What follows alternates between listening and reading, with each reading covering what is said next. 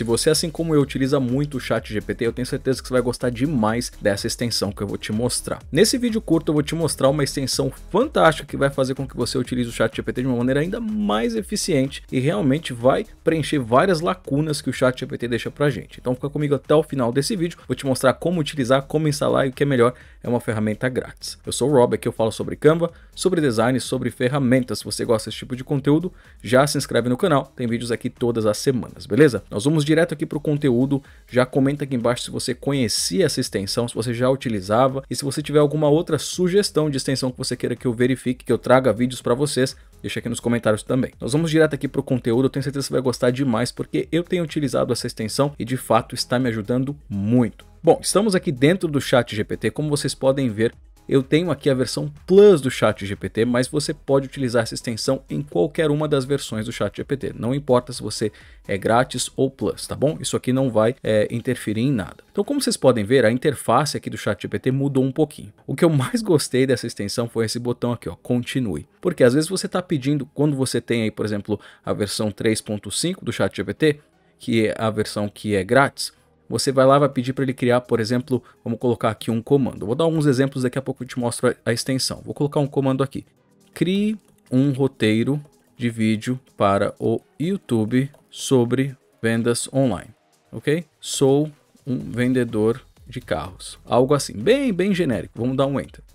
Pronto, ele começou a criar. Vocês vão ver que vai acontecer. Essa extensão adicionou várias funcionalidades aqui ao ChatGPT. Então o ChatGPT está terminando de criar para mim isso daqui. Ele está digitando tudo. E aqui no final, olha só, depois que ele fez isso tudo para mim, tem várias opções que aparecem aqui. Eu posso copiar, eu posso clicar aqui em copiar, então posso trazer isso direto lá para um documento, para o meu Notion, para o meu Excel, para o meu Google Docs ou até mesmo para o Canva Docs, você pode clicar aqui em copiar, ele vai copiar todas as informações para você. Você pode exportar isso daqui, então você pode exportar aqui em diversos formatos, inclusive em formato de texto, ou você pode clicar aqui em continuar. E aí o chat GPT vai continuar te dando informações em relação a isso, praticamente de forma infinita. Você pode clicar continuar e continuar. Isso serve muito para aquelas pessoas que criam e-books utilizando o ChatGPT, para pessoas que criam aí documentos longos que às vezes o ChatGPT ele vai te dar aí uma certa quantidade limitada de caracteres e você clica em continuar, ele vai continuar para você. Isso aqui é fantástico. Além disso, tem outras coisas aqui também. Você pode vir aqui selecionar qual modelo de chat GPT que você quer utilizar. Você pode selecionar aqui o tom.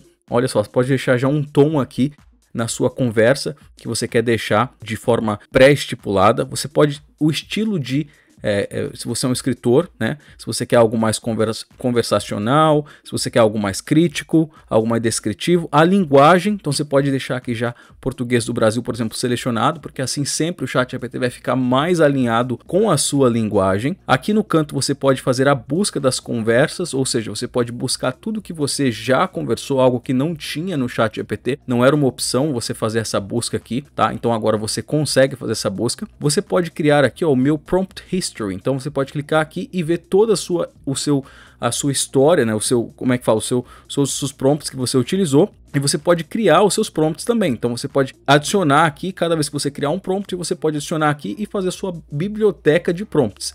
E aqui você tem também a comunidade de prompts, ou seja, você pode clicar aqui e ver todos os prompts que já foram disponibilizados dentro da comunidade. Você pode selecionar, por exemplo, aqui em português do Brasil, por exemplo. Olha, vários prompts interessantes aqui, ó. Haja como um teólogo cristão e responda academicamente, mas também com uma, com, é, como um cristão evangelizado. Forneça o melhor prompt possível de acordo com a minha solicitação. Então tem vários prompts aqui que você vai poder utilizar. É muito parecido com uma extensão que eu já tinha mostrado para vocês aqui no canal, mas na minha opinião ela acaba preenchendo várias lacunas. Além disso, aqui ó, você tem esse botãozinho aqui no lado aqui embaixo, do lado do continue, que você vai poder clicar nos três pontinhos e você vai poder dar vários comandos para o chat GPT. Então, rewrite, que é reescreva. Ele vai reescrever isso aqui para você. Olha, ele está selecionando em conta aqui, ó, que é português do Brasil. Então ele já começou a reescrever o que, tinha, o que eu tinha escrito aqui em português do Brasil. Se eu selecionar aqui, por exemplo, inglês, ele vai reescrever isso em inglês.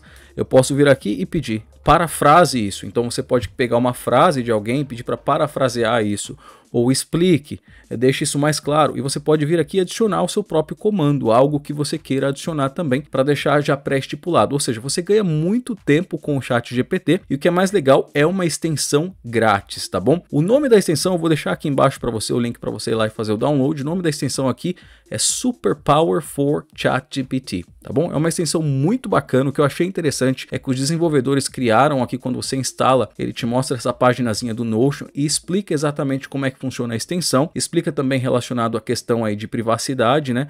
O que que, o que acontece, o que que eles copiam, o que que eles utilizam, a única coisa que eles utilizam, segundo eles aqui, são os prompts que você deixa público, ou seja, se você deixar um, um prompt público, ele vai para a biblioteca deles, mas fora isso não tem nada mais, tá bom? Que ele vai tirar ou que ele vai acessar. Então, de fato, é uma extensão muito útil. Eu estou utilizando, gostei bastante da extensão. Adiciona várias funcionalidades muito interessantes aqui ao Chat GPT. Você pode criar uma pasta dos seus prompts, tem várias coisas, fica muito mais organizado para você utilizar a ferramenta e você ganha muito mais tempo. Então, se você gosta aí é, disso, já comenta aqui embaixo o que, você acha, se você acha interessante, se você vai utilizar, se você não vai utilizar, para eu poder saber. Eu vou trazer mais é, conteúdo relacionado a prompts, mais conteúdo relacionado aí também a extensões do chat GPT, porque tem muita gente me pedindo uh, conteúdo relacionado a isso, tá bom? É de fato uma extensão muito bacana, uma extensão grátis. Vou deixar também para você assistir aqui daqui a pouco alguns vídeos relacionados aí ao chat GPT, então já vai lá e dá uma olhadinha, aproveita e dá uma olhada também nos links aqui da descrição, tem vários conteúdos interessantes para você e o meu curso também que fala sobre inteligência artificial. Vai lá e dá uma olhadinha, tenho certeza que você vai gostar demais. Te vejo no próximo vídeo, até logo, tchau, tchau.